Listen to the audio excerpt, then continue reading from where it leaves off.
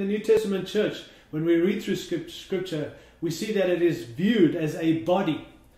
And that body emphasizes function. We work together, we function together through a variety of organs that we see mentioned in 1 Corinthians chapter 12. And so that the church is viewed as a body. And the body needs every organ to function for the church, the body, to be what it's supposed to be. It's also mentioned as a bride, the church. And uh, that's a good truth that needs to be reminded of that this is a bride. We are a bride. The church is the bride of Christ. We don't belong to man. We don't belong to leadership. We don't belong to translocal teams. We belong to Christ. And leaders are preparing themselves and the bride for the return of the bridegroom. But we are the bride of Christ. And that emphasizes our faithfulness, not to ministry or to regions or to mandate, but faithfulness to Jesus. We need to be faithful to Him, stay faithful to Him. I want to say carefully that if you're connected to a local church, you should be faithful to your leaders. We should be faithful to what we're a part of.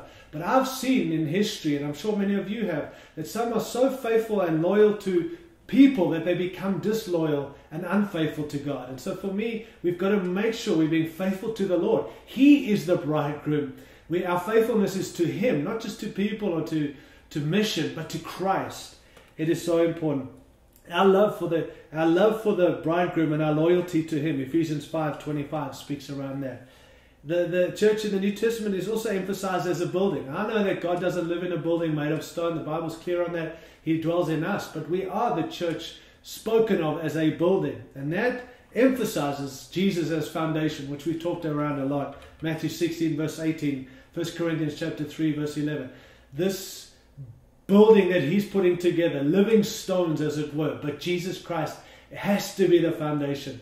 And that's the emphasis of the building. We're living stones. 1 Peter 2, verse 5. There's another picture we see in the New Testament, and it's the brotherhood, uh, which includes ladies too, I understand, but that is what the Bible says. It's emphasizing our fellowship with each other.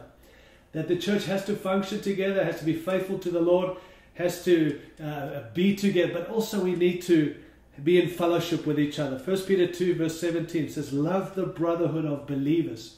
And I think there's something in that for all of us.